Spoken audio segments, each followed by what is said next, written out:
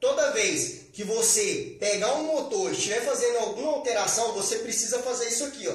Quando você está mexendo na parte de baixo aqui, ó, por exemplo, eu estou mexendo na parte de baixo desse motor. Então eu tenho vira-brequim, já fiz alteração, coloquei pino cursado. Então automaticamente eu preciso fazer o que? Pré-montagem aqui. Ó. Por quê? Eu preciso saber fazer o acerto da taxa de compressão, o quanto o meu pistão, eu preciso fazer o acerto aqui para que a taxa não fique muito alta ou não fique muito baixa, certo? Depois que eu fiz o acerto da taxa de compressão, eu preciso analisar, nesse caso aqui, ó, eu preciso analisar se as minhas válvulas, tá? Nesse caso, se a minha válvula não vai pegar no pistão quando o meu pistão estiver aqui em é, PMS, tá? No ponto morto superior aqui, ó. Quando o meu comando se abre, tá? Eu tenho um comando aqui, ó, esportivo. Então, quando esse comando abre aqui, eu preciso analisar essa folga. Como que você vai fazer essa pré-montagem? Você vai utilizar, pegar o cabeçote, em vez de você colocar as molas originais lá, você pega a sua mola, colocar lá para você fazer na bancada assim uma pré-montagem, tá?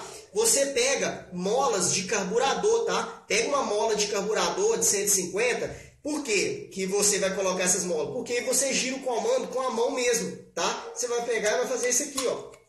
O comando vai se girar, certo? Ah, Otávio, mas e se o meu motor estiver no quadro? Eu estou mexendo só na parte de cima e eu preciso conferir as cavas é, do meu pistão, se, se, ah, se a minha válvula não vai pegar ali no pistão quando ele estiver em PMS, tá? Tem um cachorro aqui latindo, você tá louco, velho. Aí o que, que acontece? Você vai montar o seu motor, aí você pode colocar as molas normal, tá? As suas molas originais, ou você pode colocar as molas, é, pode colocar essas molas aqui para fazer o teste no seu motor, se ele não tiver na bancada, se ele tiver na monta e você precisa conferir as cavas do seu pistão.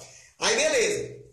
Se ele tiver na, na bancada, você vai pegar as molinhas do carburador, vai colocar nele, tá? Para ficar mais fácil, tá? Você vai girar com a mão, ó fica fácil de você conferir aqui, ó, a válvula descendo, tá? E também até mesmo conferir é, se no cruzamento de válvula aqui, ó, o momento que as duas válvulas estão abertas, com, é, com o calibre de lâmina, se não vai ocorrer de pegar uma válvula na outra e também no cabeçote, beleza?